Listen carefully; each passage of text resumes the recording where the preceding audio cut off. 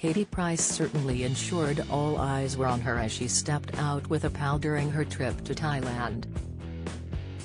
The former glamour model has been making the most of being in the Asian sunshine and topping up her tan while the temperatures in the UK continue to plummet. But Katie appeared to be in high spirits as she posed up a storm just hours after appearing to hint she and her on-off fiancé Carl Woods had parted ways. Her relationship update wasn't going to get the reality TV star down though as she and a male pal decided to head out for the night.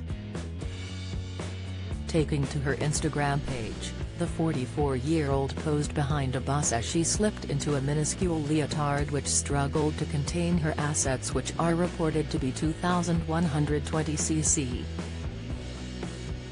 Katie's leotard offered a glimpse at her heavily tattooed body as she stopped a pair of tiny white hot pants which sat loosely on her waist.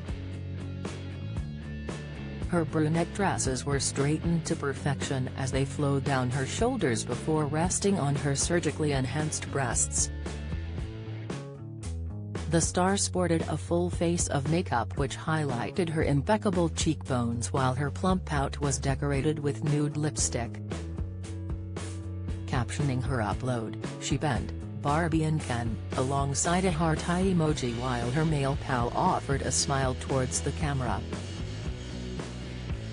Earlier in the day, Katie appeared to take a swipe at Carl after he was spotted partying with the likes of Chloe Khan and Jessica Alves.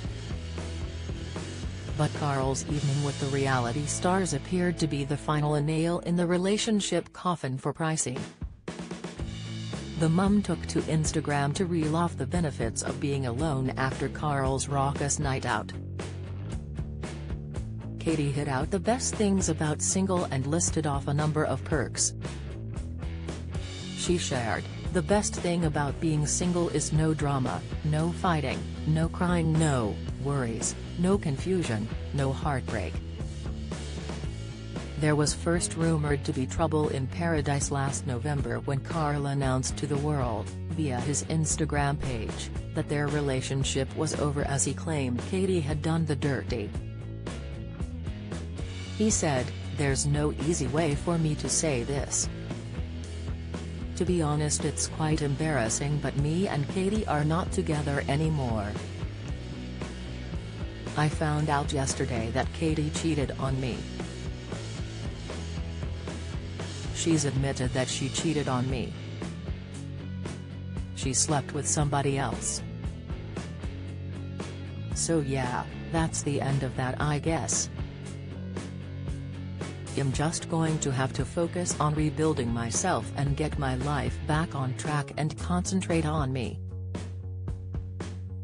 But that's done. However, it was expected the pair were mending the fractures as they were pictured attending couples therapy.